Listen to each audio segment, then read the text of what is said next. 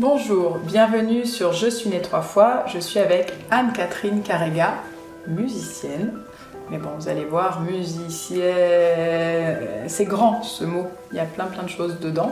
Dedans, Anne-Catherine Carrega.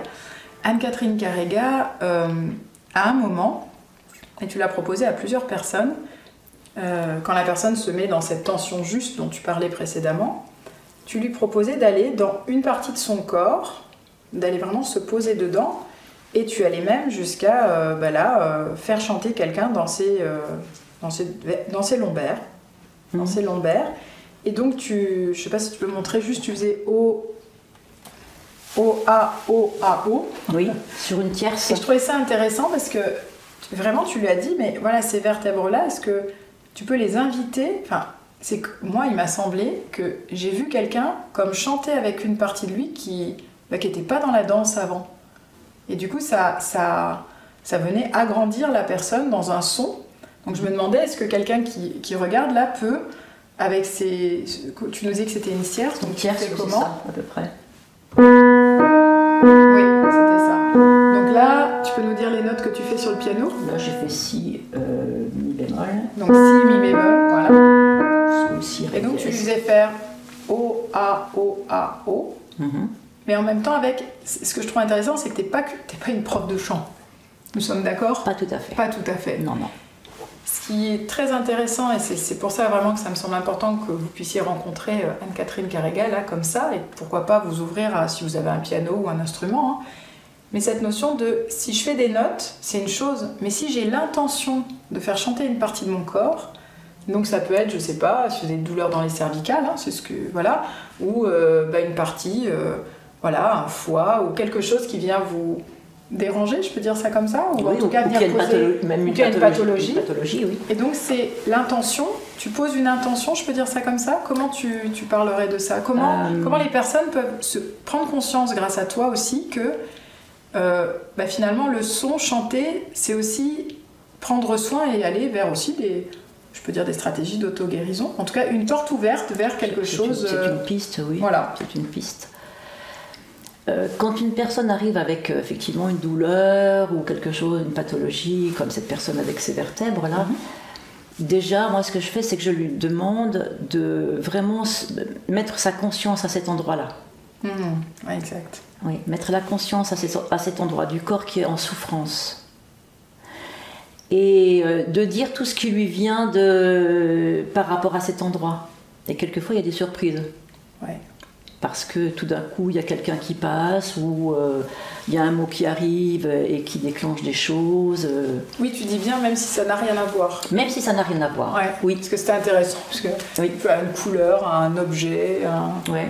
Et puis finalement, bah, c'est le jeu des associations du rêve, je peux dire ça comme ça. Absolument, oui. Mm. Et souvent, effectivement, c'est assez bluffant parce que euh, la personne, euh, par exemple, dit bah, Je sais pas, je vois une couleur noire, etc. Alors je lui demande Mais quelle noire Qu'est-ce que ça peut être La matière, etc. Et puis on arrive quelquefois à, quelque chose de très précis. Donc ça, peut être intéressant. Et donc, quand on a fait ce, ce travail-là, je demande à la personne, bon, après il a pu se passer des tas de choses, mais je demande à la personne de chanter en conscience dans cet endroit du corps qui, euh, qui lui fait souffrir. Donc ça, c'est quelque chose que quelqu'un qui te regarde là peut, en tout cas, s'autoriser. Bien sûr, bien sûr. Alors pour toi, ça paraît... Oui. Alors, vous vous souvenez, à chaque fois que nous interviewons des personnes, pour eux, ça paraît Oui. logique. Oui. Mais peut-être pas pour tout le monde. Oui, c'est-à-dire c'est un peu comme quand euh, une maman euh, met ses mains sur le corps de son enfant parce qu'il a mal quelque part, etc. Oui.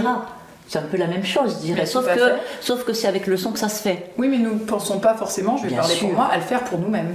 Bien sûr. Alors que là, c'est un cadeau donc, euh, que vous pouvez vous faire pour vous-même. Bien sûr, évidemment. Et donc, tu pars de, par exemple, là, tu parlais de OA, O... je O, reprends A, mes O, A, notes. O. C'était O, A, O, A, O. Oui. Donc, euh, tu, si, mi bémol, et c'était ch- chanté, mais en incluant ou en... Peut-être pas le mot. Euh, c'est- Oui, tu peux dire ça. C'est euh, pour moi, c'est euh, rester en conscience dans cet endroit et Ah oui. amener le souffle et amener le son dans cet endroit. Ah oui. Et demander, euh, je sais pas, la libération, demander euh, le dénouement de quelque chose ou.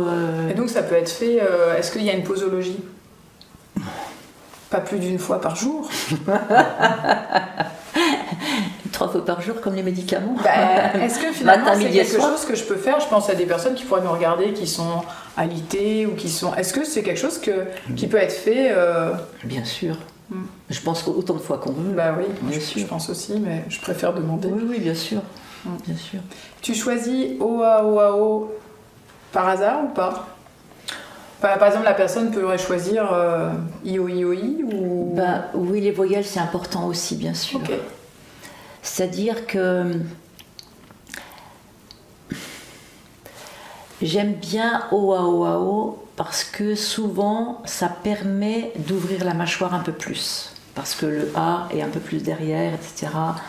Euh, parce que si je vais demander à quelqu'un de faire un I, le I c'est plus la direction, donc ça va être beaucoup plus fermé. Donc si les dents sont déjà serrées, c'est plus difficile à faire. Par contre, euh, si euh, j'ai besoin de sentir une direction dans le corps de la personne, c'est-à-dire que, euh, que l'énergie part un peu comme ça, Mm. je vais effectivement demander une inspiration plus centrée, comme par exemple inspirer avec une paille comme je l'ai fait hier, Ouais. tu sais, Ah oui. et de faire, un, et de faire dans, la, dans le prolongement un, un i ou un oui ou quelque chose comme ça, parce que ça donne une direction. Et est-ce que là, tu peux nous emmener dans le OAOAO, nous, nous montrer, en, sans aller très haut, mais comment ça, comment tu le, comment ça se chante pour, pour montrer à quel point ça peut être, euh, je dis pas que c'est un jeu d'enfant, mais c'est quand même assez simple de s'autoriser ça. Oui, simplement, euh, je fais monter par demi-ton. Oui, c'est chouette. C'est-à-dire, c'est comme ça. Je laisse respirer la personne.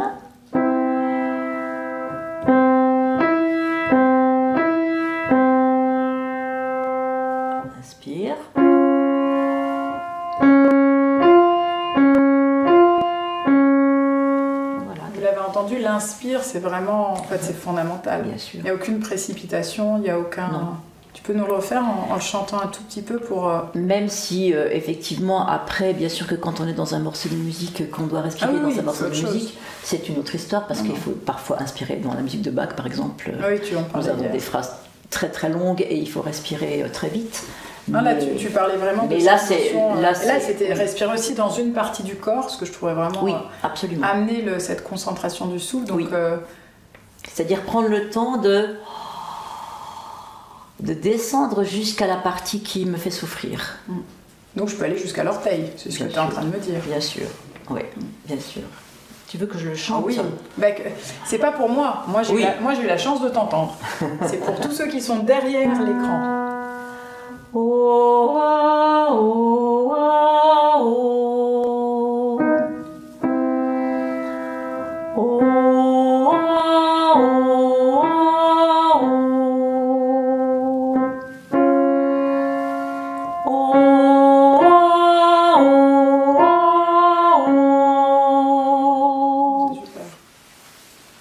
Pu entendre ce- vraiment ce temps d'inspire qui est vraiment. euh, capital.